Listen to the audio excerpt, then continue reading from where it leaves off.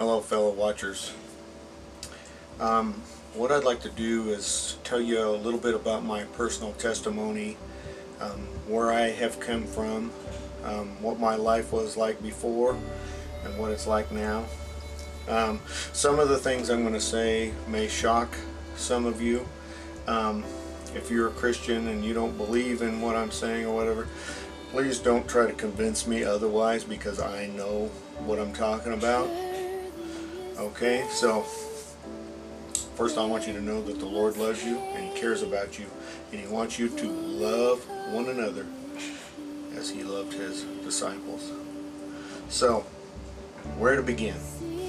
Um, let's start uh, back in the 80s. I worked for Shell Oil Company for about nine years and then I uh, was laid off.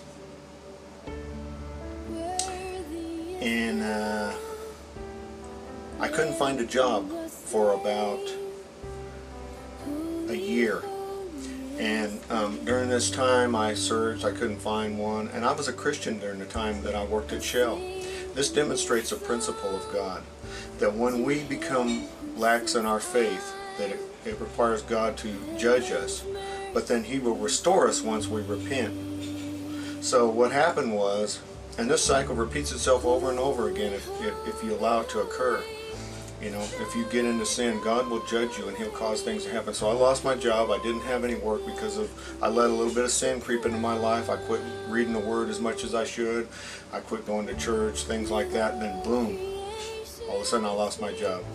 So I don't have a job, and I'm. I decided after about a year that I've had enough of this, and I began to fast and pray. And um, before I worked for Shell, I was uh, I used to do a lot of hunting as a child.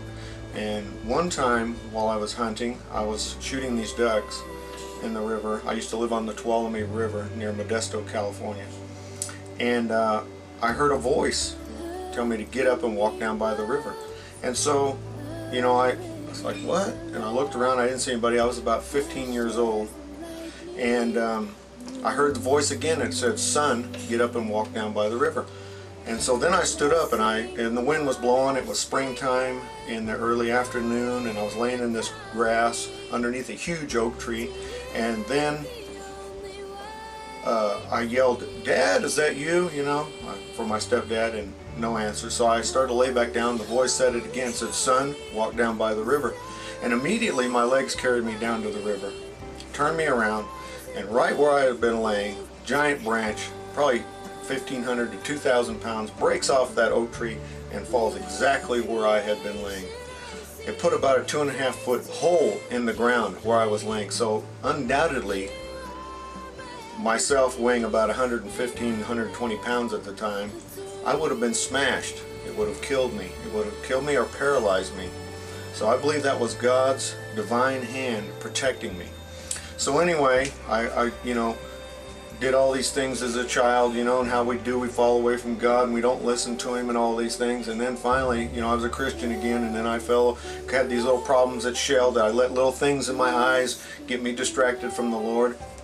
And He judged me, and so I was not working, so I decided to fast and pray. And I fasted for 10 days. On the 10th day, at 1 o'clock in the morning, the Lord woke me up and He said, I want you to go across the street and pray for the neighbor, for the workmanship of his hands. And so um, I said, Lord, I'll do it later. You know, it's, it's 1 o'clock in the morning.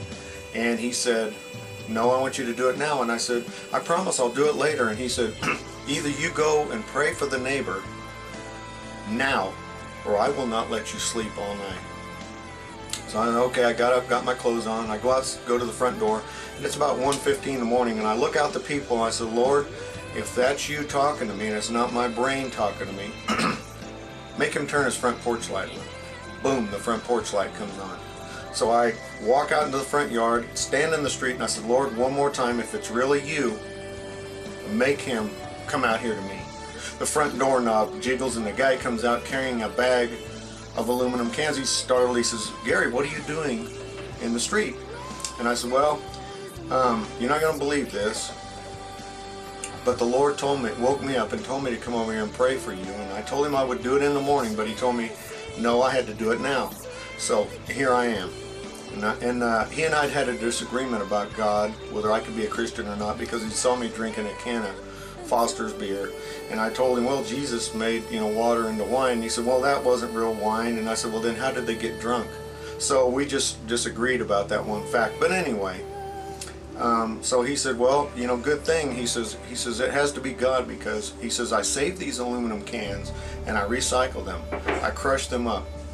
he says my can crusher is in the house and I store the cans in the garage. So I don't. He says I felt that I had to bring these cans outside and set them next to the garage by the trash cans. And he says, so it has to be God. And he says, I want to apologize to you for saying you couldn't be a Christian. And he said, and the other thing is, I'm leaving for a business that I bought. And um, he says, I'm leaving at 4, 4.30 in the morning, so you couldn't pray for me tomorrow. So I prayed for him. And then I went to bed. And then the next day, I was in the bathroom, in the shower, and I was crying out to God. I said, look, God, you know, I fasted for 10 days and you wake me up and have me go pray for the neighbor. He says, well, I'm going to do something for you also. He says, um, the fire department is going to call you tomorrow and offer you a job and I want you to take that job. Now I'd applied for a job with them with the Bakersfield Fire Department seven months prior but the list had expired and they'd hired everybody because I checked and so he says in three days they're going to call you and you take that job uh, okay you know and I said well what will happen then he says you'll work there for 10 years and I said well then what will happen he said you will go back to the oil fields for one year and then I said something that I don't understand why I said. You know, I've, I've always been a space kind of guy. Star Trek, Star Wars, things like that interest me. But I asked him something that was kind of odd to me to ask God. I mean, I, most people say, well, when's the, the rapture going to occur or, or, something else, you know. But uh, I asked him, what about the aliens? And he says, you know, aliens from outer space. And he says, that will take care of itself in time. And I said, well, what will happen after I leave the oil field? And he says, you will do my will. So three days later, the fire department calls me, the chief of the fire department. He says, look, I want you applied for this job. The list is expired, but I got special permission to offer you a job. He said, we'd filled all the positions, but one of the guys quit this last week, and I don't want to go through a 100 applicants, go through this whole mess when I already have you and you've already been pre-approved. You just weren't hired. So we'll do a background investigation on you and hire you. Is that okay? And I said, yes, I'll, I'll, take the job. So two of the captains that came out and investigated me, they didn't like me. One of them thought I was a little bit too old because I was 33 years old at the time. And the other one said, well, I just don't know why I don't like him. And this guy, turns out, hates Christians. So I go to work there and uh, I'm working at the fire department and first thing happens a homosexual decides he doesn't like me and attacks me because they can tell that the spirit of God is within you. I don't want any people that are homosexual to come on my side and attack me. The Bible clearly says that that is a sin. So you guys deal with that however you want to deal with that. You deal with God. It's in His Word. He burnt two towns up over it. Okay? So anyway, uh, the guy begins to take me, starts little things happening to me. I wasn't really going to church because I had a few bad experiences in church before. Um, I started doing some more, a little bit of sin. One of the Christian guys was there, talked me into smoking cigars, which I thought were wrong. It doesn't matter. I don't know what you guys feel. If you don't feel it's wrong, that's fine. But I did, and so that convicted me, caused these things to happen to me. And then uh, my sister was messing around with some tarot cards and stuff. And uh, but before this. Um, before those things happened to me, we went on a vacation and we went to, um, the fire department was talking about laying us off after I'd only worked there for about a year. And I had a three-year-old daughter. And when we came back from this vacation in Washington State, Upper Washington State, she told me that the little men from the lights got Daddy and Sarah when we were in the trailer. And I'm like, what? She wouldn't go outside for about a year or so, or almost two years. So anyway, um, finally she got over it. But um, I began to see these little objects in the house floating around and stuff like that. And so I went to a friend of mine and uh, he had a security company and he put a hidden camera in my house. It was a $2,000 camera. Put it in my house. It looked like a clock radio. And I got pictures of these creatures, right? And objects in my house. And so um, I uh, went to a doc to a doctor because I was suffering from stress because this same homosexual guy attacked me and threatened to kill me uh, there was paperwork showing he bought a rifle and all this stuff. He was angry with me for whatever reason. He thought I was keeping him from one of the guys at work. So anyway, he ended up getting fired, but I was suffering from stress. So I went to the doctor. I couldn't sleep, all this stuff. So he suggested hypnosis to try to help me sleep. And I had memories whenever I had this hypnosis. And I remembered seeing these aliens and the aliens told me that they created God and they showed me all these things which caused me to doubt my faith. I still believe there was a creator, but I, I was they were telling me they manipulate all the things I thought was God, you know, and talked to me and did all this stuff. So I believed them. Satan is a liar. I believe now that they are are fallen angels and I can prove that also. So um, for 10 years, I, I, I, ended up, my leg got hurt at work and uh, I ended up being retired and went to the oil fields again, like God, exactly like God said. And I was out there for a year, and during that time, I stopped them release, from releasing this toxic gas. It could have killed the entire city or a quarter of the city of Santa Maria. I lived near there, and I worked at this oil field company as a fire as a uh, fire excuse me safety manager.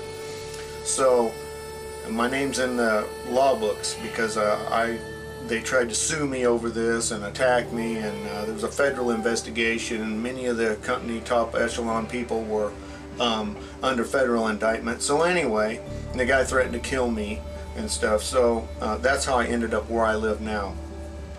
But uh, I ran from God for years right? And and I still would talk about him and stuff and things like that and uh, my brother and I were out partying one night which I used to do a lot. I ride a motorcycle. My brother talked me into doing this stuff, things that were against my nature, and I was fighting myself. Why am I doing this? But I was doing it anyway. And then God spoke to me again about a year ago. And then in, in March or April, he really began to hammer me.